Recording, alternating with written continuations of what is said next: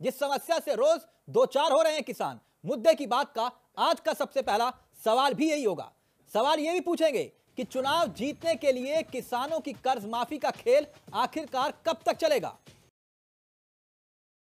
तो सरकार चाहे कांग्रेस की बने स्टेट में, चाहे बीजेपी की बने सेंटर में मज़ा जो है पब्लिक को आने वाला है। बहुत सारी राहत, रियायतें दोनों किसानों के कर्ज माफ़ हो जाएँगे, किसानों के कर्ज माफ़ हो जाएँगे, किसानों के कर्ज माफ़ हो जाएँगे। बहुत सारी ऐसी चीज़ें हो जाएँगी जो बीजेपी अभी तक नहीं कर रही थी या कांग्रेस आ करके इन्फ्लुएंस करने के यही तरीके हैं चार छह महीने में। ये फैक्ट है। देखिए, मैं आपको बताऊँ चार छह महीने बचे हुए हैं। विकास का कौन सा काम हो सकता है? भाई प्रोजेक्ट को पूरे करने में बहुत टाइम लगता है। मुद्दे की बात में आज हमारे साथ जो पैनल मौजूद है उनसे आपको रूबरू करवा देते ए के मिश्रा साहब राजनीतिक विशेषक हमारे साथ जुड़े हुए हैं। मुद्दे मुद्दे पे बोलने के लिए ज्ञान नहीं है क्या सर आप लोगों के पास? एक सेकंड हो गया सर दोनों का आपका। कैसी है और आप लोगों ने इंजीनियरिंग की है? यार सीए इंजीनियर हो। आप पढ़े पार्टी को रिप्रेजेंट कर रहे हो। आप पढ़े लिखे हो इस तरह की भाषा इस्तेमाल करोगे। OP Mishra sir sir please एक सेकेंड देखिए दूसरी चीज़ है गैप आप समझ लीजिए। भारतीय किसान जो है मानसून का जुआ होता था लेकिन आज मैं बोलूँगा कि भारतीय किसान जो है राजनीति भारतीय राजनीति का जुआ बन गई है। बहुत बढ़िया। हाँ ठीक ए के मिश्रा साहब।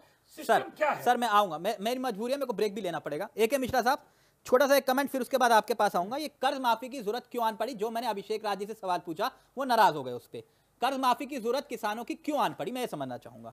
किसान क्यों कर्ज हो गया? 11 दिसंबर को जो वोट की काउंटिंग हो रही थी तो मैंने यही बोला था कि अब जो है ये सब चीज़ें सारी पार्टियाँ करेंगी। कर्ज माफ़ी, ये माफ़ी, वो माफ़ी, वही आज चीज़ हुई है। देखिए, दो चीज़ होते हैं। एग्रीकल्चर को कैसे बढ़ाया जाए, किसानों को आत्मनिर्भर कैसे बनाया जाए, ये सब्जेक्ट है एग्री इकोनॉमी का। और ये जो किसानों की कर्जा माफ़ी चुनाव जीतने के छह घंटे के बाद हो रही है, तुरंत हो रही है इमीडिएट हो रही है, ये है एग्री पॉलिटिक्स। इंडिया में पॉलिटिक्स, एक एक पॉलिटिक्स होती है जिसकी वेराइटी आप बोल सकते हो एग्री पॉलिटिक्स। तो ये प्योर वोट बैंक का है। इसका जो है किसानों के कर्ज माफ़ी से फौरी राहत ये दे रहे हैं केवल वोट बैंक के लिए। लॉन्ग टर्म के लिए नहीं दे रहे हैं कि किसानों के पैरों को मज़बूत करना किसानों को आत्मनिर्भर करना एग्रीकल्चर सेक्टर का जो है ओवरऑल ग्रोथ करना। मैं आपको बताऊँ इंडिया में एग्रीकल्चर सेक्टर सबसे बड़ा सेक्टर है। लगभग 30 परसेंट पैंतीस परसेंट लोगों की डायरेक्ट या इनडायरेक्ट वे में रोजी रोटी चलती है। और तेरह चौदह परसेंट यानी लगभग पंद्रह परसेंट की टोटल जीडीपी का कंट्रीब्यूशन है। इतने बड़े सेक्टर को सबसे लार्जेस्ट सेक्टर जो इंडिया की जीडीपी में कंट्रीब्यूट करता है सबसे लार्जेस्ट लोगों की रोजी रोटी जिससे चलती है इन लोगों ने सारे पॉलिटिशियन ने सत्तर सालों में अनाज छोड़ दिया है। केवल अफीम दे रहे हैं दर्द को दूर करने के लिए मॉर्फिन का इंजेक्शन दे रहे हैं ताकि वोट बैंक बने मर्ज का इलाज नहीं कर रहे हैं। आगे मैं बताऊँगा कि और ये लोग क्या कर रहे हैं। ठीक। ए के मिश्रा। देखिए चावला जी मुझे थोड़ा सा टाइम दीजिएगा और मैं एग्री पॉलिटिक्स की बा, भी बात करूँगा कि कैसे किसानों का या उनसे संबंधित चीज़ों का ये सर आप शांत रहिए प्लीज़ एक सेकंड एक मिश्रा प्लीज़ अपनी बात रखिए। प्लीज़ ओपी मिश्रा आपके पास आ रहा हूँ इसके बाद प्लीज़ एक सेकंड और और एग्रीकल्चर सेक्टर का जो बार बार बार बार आगे बढ़ जा रहे हैं तो आप बोलने का मौका ओपी मिश्रा साहब आप ही के पास आऊँगा सर। आप भी आरोप लगाइएगा। एक सेकंड आ रहा हूँ प्लीज़ आ रहा हूँ। आंकड़ों के साथ आपसे भी बात करूँगा प्लीज़ एक सेकंड सुन लीजिए। एग्रीकल्चर सेक्टर में आपको बता दूँ 14-15 परसेंट का जीडीपी में कंट्रीब्यूशन है और 35 परसेंट लोगों को डायरेक्ट इनडायरेक्ट वे में रोज़गार दिया हुआ है। आज उसकी हालत क्यों है? ऐसे किसानों की। कभी भी ये, जितने भी नेता हैं, ना कोई साइंटिफिक एनालिसिस की, ना रूट कॉज समझा, ना सोल्यूशन दिया। मैं जल्दी से आपको बताता हूँ, देखिए यूपी में लगभग छत्तीस हज़ार थ्री करोड़ रुपीस का जो है कर्जा माफ़ी की बात चल रही नाइन पॉइंट फोर मिलियन किसानों को कवर किया जा रहा है। महाराष्ट्र में आप थर्टी थाउज़ेंड है, पंजाब में thirty six thousand six hundred crore है एमपी में fifty six thousand forty seven crore है और हरियाणा में फिफ्टी सिक्स थाउज़ेंड करोड़ है, तमिलनाडु में seven seven six zero crore का है। और ऐसे ही कर्नाटक में देखेंगे तो बावन करोड़ का है। ये सारा जाके बैठेगा साढ़े तीन लाख और आपने जो बड़ा पाँच लाख पूरे इंडिया की अगर मैं बात करूँ तो लगभग पाँच साढ़े पाँच लाख रुपए का ये कर्जा जाके बैठेगा और गवर्नमेंट अगर all of sudden web off कर दे मैं राहुल गांधी को बोलता हूँ मैं बीजेपी को बोलता हूँ सर हंड्रेड परसेंट कर्जा आप माफ़ कर दो। और आपकी जो जीडीपी की ग्रोथ अभी सात साढ़े सात परसेंट पे बैठी है पाँच परसेंट पाँच परसेंट पे आके अटक के रुक जाएगी। और फिर आप जाइएगा वर्ल्ड बैंक के पास लोन लेने के लिए। अपना ग्रोथ दिखा। सर एक मिनट शांत रहिए। पहले मुझे भाई किसानों के खिलाफ बोलोगे हम शांत रहेंगे। इस देश के किसान ने कमाया क्या किया? देश ने किसान को क्या देश के किसान ने क्या दिया आप किसान के नेता इस किसान ने मेहनत किया? किसान को क्या दिया देश आप किसान के किसान के ऊपर जीडीपी घट रही है देश में। विधायक सांसद खा रहे हैं देश को। उनसे जीडीपी नहीं घटी देश की। साला देश फेंक दिया। उनसे उनसे जीडीपी नहीं घटी किसान को कुछ दे रहे तो देश की जीडीपी घट रही है। भीख मांगने से किसानों को कुछ मिल भीख नहीं मांग रहा solution- किसान अपना मेहनत मांग रहा है। की अपनी। फ़सल के दाम मांग रहा है। आप सिस्टम के खिलाफ बात हुआ है। राजनीति की भाषा देश ने। मौज की है। किसान ने कमर तोड़ के कमाया उसे वापस मांग रहा है।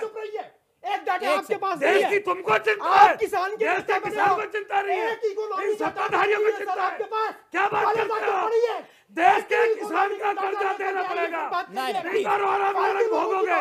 जो किसान के खिलाफ बोलेगा और नरक में जाएगा मैं एक हूँ वो हो? है सेकंड सर प्लीज़ प्लीज़ क्यों नहीं हो रही है? ओपी मिश्रा ओपी मिश्रा भाषण मत दीजिए। एक सेकंड। जवान ने और किसान ने रखा है देश को। इस देश को ओपी सॉल्व एक होगी सेकंड मुझे एक बताइए। एक सेकंड एक सेकंड रोटी एक मिल सेकंड रही। ओपी मिश्रा प्लीज़ एक second please OP Mishra OP Mishra से ओपी मिश्रा ओपी मिश्रा एक सेकंड एक सेकंड एक सेकंड एक सेकंड कर्ज माफ़ी सॉल्यूशन है या नहीं है? वो एक बहस का विषय हो सकता है लेकिन मुझे एक बात समझाइए सर। ओपी मिश्रा साहब सत्ता में आप हैं। समाधान क्या समस्या का? और समस्या है क्यों? राजनीतिक नहीं। राजनीतिक नहीं कांग्रेस ने ये किया कांग्रेस ने वो किया। आपने क्या किया ये बताइए economic के दीजिएगा। एक सेकंड आंकड़ों के ज़रिए सीएन आप समझाइए। सर सिंपल सा क्वेश्चन है? हमने आपको समाधान क्या है? समाधान क्या है? और कर्जदार क्यों है किसान? सर नहीं, डाटा हमने की है दिखाइए ना सीए का। आप डाटा की बात ही नहीं कर रहे हैं। नहीं। सर आपके पास डाटा होगा आप सीए ना हवा हवाई बातें नहीं करेंगे ना एक सेकंड तो बताइए। खेती के लिए तो कर्ज लेगा और अरे आप बोलने देंगे या, या आप हाँ खुद ही बोल सर बोलिए बोलिए कोई नहीं बोल रहा बोलिए बोलिए। आंकड़े आंकड़े आंकड़े सर।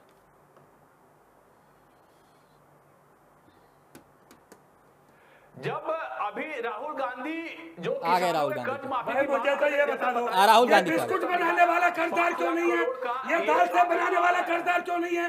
बेसन सर, मैं पूछ रहा हूँ मैं पूछ रहा हूँ मैं पूछ रहा हूँ। बिस्कुट बनाने वाला कर्जदार। मैं पूछ रहा हूँ। एक- वाला कैसे बढ़ एक? के मिश्रा, एक के मिश्रा। कैसे बढ़ गया एक। क्यों एक किसान कर्जदार एक सेकंड। इंडस्ट्रियलिस्ट क्यों नहीं कर्जदार मैं? समझ रहा हूँ बताऊँगा। एक। एक सर मैं बताऊँगा गैप एक कहाँ है एक मैं बताऊँगा एक सेकंड सर एक सेकंड एक सेकंड जब आप- देश साथ लोगे एक- तो एक- ये ठीक है आरोप प्रत्यारोप दे एक के मिश्रा साहब लॉजिकली बात हो, लॉजिकली हो। एक सेकंड एक एक ठीक है सर ठीक है सर किसी का ठीक है सर सब चोर है एक सेकंड एक सेकंड सब चोर है सर हित एक नहीं सेकंड। साधना चाहिए। सर एक जब। देश ही नहीं एक- रहेगा तो हित का क्या एक करोगे आप सांसद सर ठीक है आप जाइए ना सर आप जाइए चुनाव लड़िए आप जाइए चुनाव लड़िए ना। जो तो विधायक किसान भी है। कमाने वाले। इंडस्ट्रीज़ भी किसान एक विधायक है। एक सेकंड सर। अब मुझे लॉजिकली बात समझाइए। ना मैं कांग्रेस वाले से समझ पाया ना मैं बीजेपी वालों से समझ पाया। आप मुझे लॉजिकली बात समझाइए कर्ज माफ़ी का लॉलीपॉप है क्या? ये समझाइए। देखिए मैं आपको बताऊँ। और समाधान क्या है? मैंने दो चीज़ बोली थी। एक एग्री इकोनॉमी होती है जो साइंटिफिक है और यहाँ इंडिया में एग्री पॉलिटिक्स भी चल रही है। तो ये सब एग्री पॉलिटिक्स है किसानों की कर्ज माफ़ी 2019 का इलेक्शन है वोट काउंटिंग के दिन ग्यारह दिसंबर को भी बोला था। देखिए दूसरी चीज़ है गैप आप समझ लीजिए। भारतीय किसान जो है मानसून का जुआ होता था लेकिन आज मैं बोलूँगा कि भारतीय किसान जो है राजनीति भारतीय राजनीति का जुआ बन गई है। बहुत बढ़िया। हाँ मानसून के ऊपर निर्भर रहना और मानसून न होने के कारण जो भारतीय किसान को नुकसान होता था उसकी कभी किसान ने शिकायत नहीं की। सरकारों के सामने कभी राजाओं के सामने भीख नहीं मांगा। लेकिन आज किसान ये बोल रहा है कि मुझे आप कर्जा माफ़ करो। इसके पीछे रीजन क्या है? सब लोग ये बोलते हैं कि किसान की अगर लागत लगी है दस रुपए और उसको मिल रहे हैं दो रुपए आठ रुपए यानी लागत दस की है तो बारह रुपए मिले। ये क्यों है? इंफ्रास्ट्रक्चर गैप जितना कर्जा ये लोग माफ़ कर रहे हैं, उतने में रूरल एरिया का पंद्रह टाइम ज़्यादा अभी जो है, सड़क बन सकती है। 55 परसेंट जो है इरिगेशन की फैसिलिटी बढ़ा सकते हैं। चौवालीस हज़ार से ज़्यादा वेयर हाउस इंडिया में बन सकते हैं। 530 डिस्ट्रिक्ट है। आप डिवाइड कर लीजिए चौवालीस हज़ार से हर डिस्ट्रिक्ट में कितने वेयर हाउस बनेंगे? किसान जब अपने इंफ्रास्ट्रक्चर को यूज़ करेगा तो दस रुपए की चीज़ लागत वाली वो टाइम पे बेचेगा मार्केट में तो उसको बारह रुपए मिलेंगे तो किसान को प्रॉफिट होगा। तब वो कर्जदार नहीं होगा, जो आप पूछ रहे थे। आपका जवाब है। जवाब ये है कि कब तक आप कर्जे पे कर्जा माफ़ करते जाओगे? अफीम जब दर्द होगा किसान को, आप अफीम की गोली खिलाते जाओगे। सर एग्री इंफ्रास्ट्रक्चर को डेवलप करिए, जो सत्तर साल में नहीं हुआ, और इस गैप को फिलअप कर दीजिए। कि मार्केट में डिमांड और सप्लाई जब मार्केट एकदम पीक पे होता है, रेट जब पीक पे रहते हैं, उस वक्त किसान तुरंत बेच सके। यही एक गैप है। ये simple C policy Abhishek Raj and OP Mishra ji. आप दोनों के लिए आंकड़ों के साथ अगली बार होगी मुलाकात। मुझे दीदी इजाज़त।